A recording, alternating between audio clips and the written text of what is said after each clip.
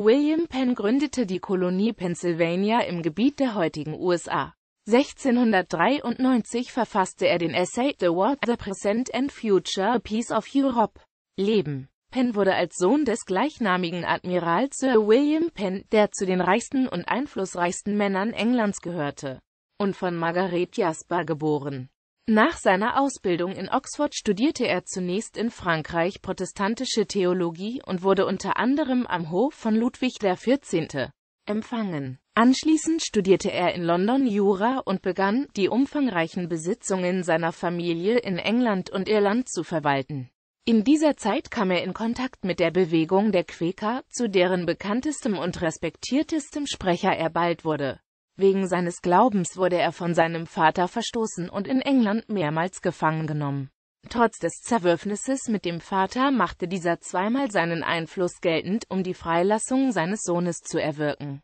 Am 16. September 1670 starb der Vater, kurz nachdem Penn ein zweites Mal freigelassen worden war.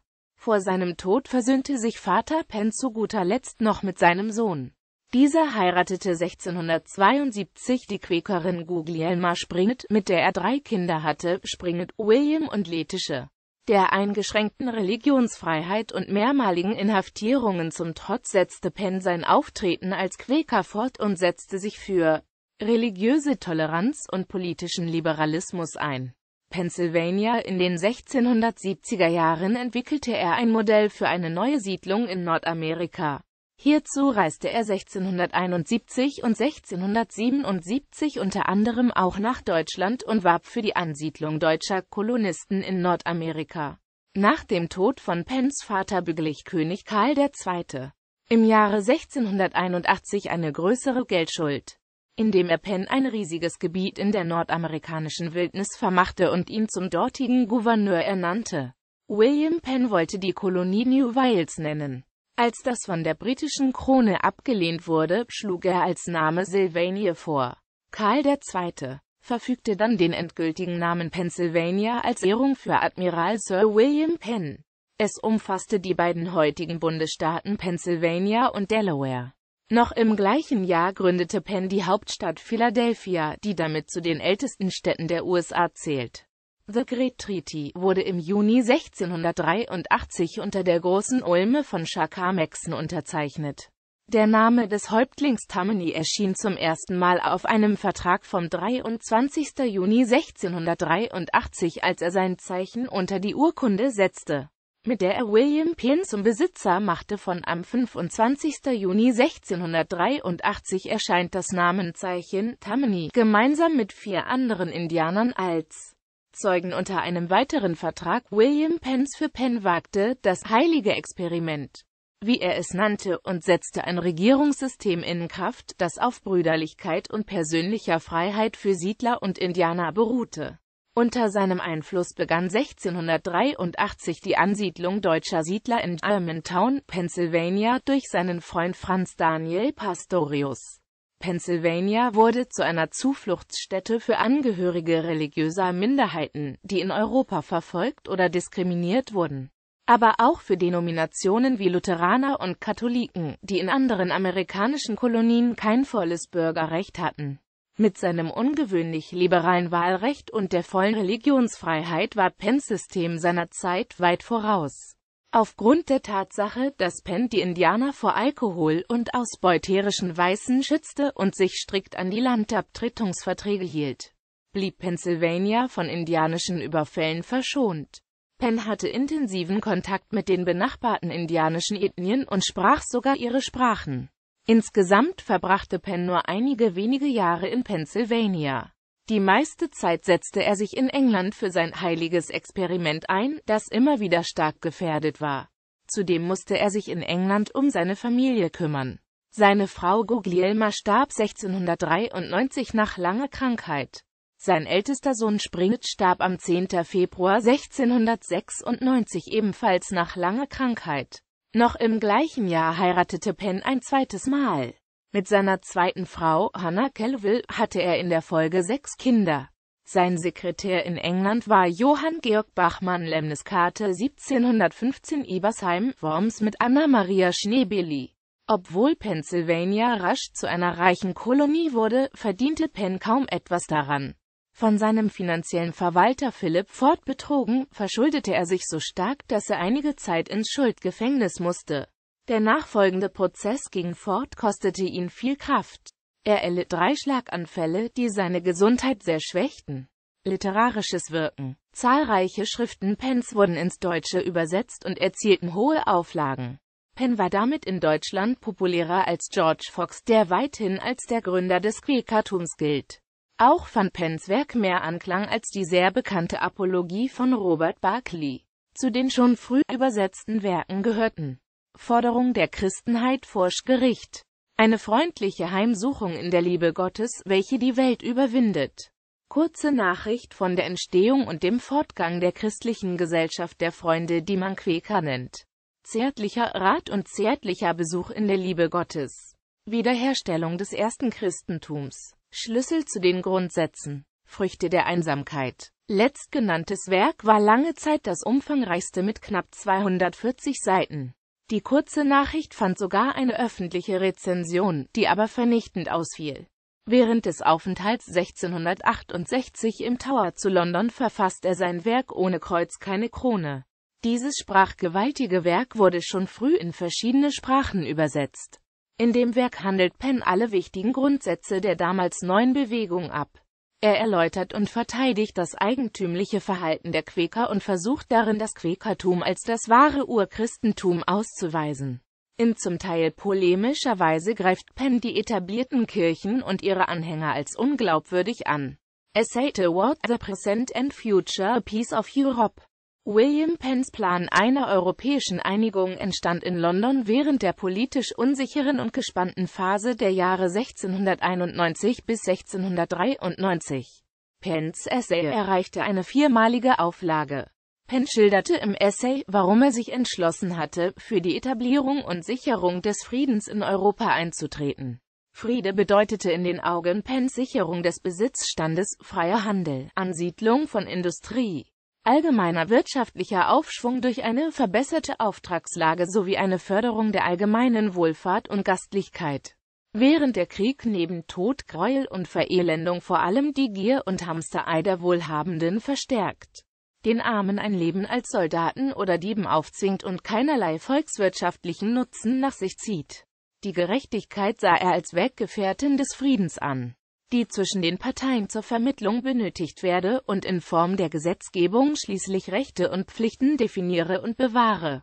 Die Regierung stellt darüber hinaus ein notwendiges Mittel gegen die Verworrenheit dar und gehe aus einem allgemeinen gesellschaftlichen Konsens hervor. Des Weiteren beschäftigte Penn sich mit der institutionellen Einrichtung eines Parlaments-Staatenbundes auf europäischer Ebene, wobei die verwendeten Termini oft einen recht beliebigen Austausch fanden. Sie thematisieren primär die möglichen Mitglieder und deren Aufnahmeberechtigung, die Natur von Rechtstiteln und erörtern Fragen der Präsidentschaft und der Repräsentation, des Stimm- und Wahlverhaltens, der Anwesenheits- und Vertretungspflicht sowie mögliche Straf- und Sanktionsmaßnahmen. Als Diskussions-, Verhandlungs- und Vertragssprache schlug Penn entweder Latein oder Französisch vor, die beide Vorteile besäßen und gleichermaßen akzeptiert werden könnten. William Penn verwies zur Rechtfertigung seines Friedensplanes explizit auf die blutigen Geschehnisse, die sich seit 1688 beispielsweise in Ungarn, Flandern, England, Irland oder zur See abgespielt hätten und von denen kein menschliches Wesen ungerührt sein könne.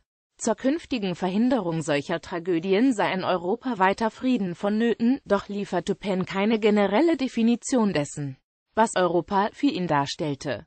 Penn entschied sich für einen politisch-geografischen Begriff Europas, der sich besonders aus der Zusammensetzung einer General- oder Staatenversammlung sowie der Stimmverteilung der anwesenden Delegierten ablesen ließ. Demzufolge sollte das Heilige Römische Reich zwölf, Frankreich und Spanien je zehn, Italien acht, England sechs, Schweden, Polen und die Generalstaaten je vier, Dänemark, Portugal und die Republik Venedig je drei sowie die Schweizer Kantone das Herzogtum Holstein und Kurland sowie kleinere Fürstentümer je eins Stimme besitzen, so dass sich die Gesamtstimmen auf 70 belaufen hätten. Für den Fall, dass die Türken und Russen ebenfalls als Mitglieder Aufnahme gefunden hätten, hätten sie jeweils über zehn Delegierte verfügt, was die Stimmenanzahl auf 90 erhöht hätte. Eine solche Zusammenkunft hätte nach Pence Ansicht Europa als the best and wealthiest part of the known world hervorgehoben. Pence Vision von Europa, Religion and Learning, Civility and Arts have adhered and appear. Für den Fall, dass veränderte Rechtstitel eine Überarbeitung der Zusammensetzung erforderlich machen würden, schlug Penn eine genaue Prüfung aller vorgebrachten Ansprüche vor. Rechtstitel hätten vor der General- oder Staatenversammlung nur dann Bestand, wenn sie durch eine unzweifelhafte Erbfolge, eine Wahl, eine Heirat oder durch einen rechtmäßigen Erwerb legitimiert seien. Dahingegen habe die zu schaffende Europäische Staatenversammlung solche Ansprüche und Titel zurückzuweisen die durch Schwert und Blut erreicht worden waren, da sie moralisch fragwürdig seien, wenn sie nicht nachträglich durch einen Vertrag eine Bestätigung gefunden hätten. In diesem Punkt wird der Wunsch nach einer friedlichen bzw. an christlichen Maßstäben orientierten Rechts- und Wertegemeinschaft zwar besonders gut sichtbar, doch zieht er sich durch den ganzen Essay. Die Staatengemeinschaft führe, so Penn, somit to the benefits of an universal monarchy, without other inconveniences that attend it. In den letzten Abschnitten werden mögliche Einwände vorweggenommen, entkräftet. Und die positiven Auswirkungen des Planes wie etwa ein gottgefälliges Leben in christlicher Nächstenliebe und Frieden, das verbesserte Ansehen des Christentums bei den Ungläubigen, die Vermeidung der oft enormen Kriegsausgaben und ihrer friedlichen Verwendung die Erleichterung von Handel und Reisen, die verstärkte Abwehrkraft gegen türkische Expansionsbestrebungen und die intensivere Freundschaft zwischen allen europäischen Fürsten, Staaten und Völkern aufgezählt. Abschließend weist Penn darauf hin, dass die Schaffung einer solchen, sehr eingeschränkt supranational agierenden Institution durchaus nicht unnatürlich sei, denn by the same rules of justice and prudence by which parents and masters govern their families and magistrates their cities, and estate their republics and princes and kings their principalities and kingdoms. Europe may obtain and preserve peace among the sovereignties. Die besten Anregungen für seinen Friedensplan fand Penn nach eigenen Angaben bei seinen Recherchen über den französischen König Heinrich IV der bereits viele Gedankengänger rund 100 Jahre vor ihm angestellt hätte. Penn bezeichnet seine Ausführungen deshalb als ein Experiment, das nötig sei, um den Frieden in Europa und der ganzen Welt dauerhaft einzurichten. Ideengeschichtlich markierte William Penns Essay einen Meilenstein in der Geschichte der Europapläne, der auch nach eigenen Angaben eine enge Verknüpfung zu den Plänen von Heinrich IV. und dessen Weggefährten Maximilian die Bethune DUCD Sali aufweist und erstaunlich detailliert zahlreiche Errungenschaften des Nachkriegseuropas des 20. Jahrhunderts vorwegnahm, nachleben. Penns Gedenktag ist der 30. Juli im evangelischen Namenkalender. Penns Einfluss in Pennsylvania war noch über Generationen sehr deutlich spürbar. 1945 wurde eine Wohlfahrtsorganisation gegründet und nach ihm benannt die die Lebensqualität in der Region in und um Philadelphia in den Bereichen Kultur, Jugend und gemeinschaftliches Zusammenleben fördern soll bzw. will. Am 28. November 1984 erklärte der US-Präsident Ronald Reagan William Penn und seine zweite Frau, Hannah Kelville Penn, posthum zu Ehrenbürgern der USA. Ein von Freundschaft und Tod handelndes Zitat aus seinem Werk More Fruits of Solitude ist eines der beiden Mottos des siebten Bandes der Harry Potter-Reihe. Die US-amerikanische Schauspielerin Meryl Streep ist eine entfernte Nachfahrin William Penns Legende. Eine Legende, die immer mal wieder auftaucht, ist die, dass Penn den bekannten Quäker-Prediger George Fox gefragt haben soll, ob er sein Schwert tragen dürfe. Dieser soll gesagt haben, trage dein Schwert solange du kannst. Etwas später sollen sich die beiden wieder getroffen haben und Fox soll ihn gefragt haben, wo er, Penn, denn sein Schwert habe, worauf dieser geantwortet haben soll, dass er es nun nicht mehr tragen könne. Diese Geschichte ist eine freie Erfindung. Es handelt sich lediglich um eine, noch heute, populäre Legende unter Quäkern.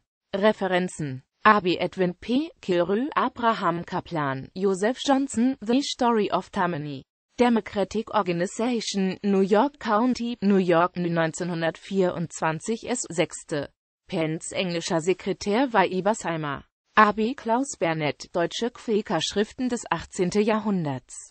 Nachdruck. Georg Olms, Hildesheim unter anderem 2007 ISBN 9783487134086 S 393. William Penn. Ohne Kreuz keine Krone Übersetzung 1826 Digitalize und Text bei Wikisource. Beispiel für heftige Polemik Zweite Kapitel 8 Erster Absatz Penn klagt zum Beispiel über ein Christentum, das alle Abscheulichkeiten, die man nur auf der Erde kennt, voll ist. William Penn im Ökumenischen Heiligen Lexikon. Meryl Streep, Faces of America. Abgerufen am 5. Februar 2010. Joy Marie Mackenzie. Henry Louis Gates Says. Brook Meryl Streep's Hard Night seit 4. Februar 2010. Quaker Heritage Press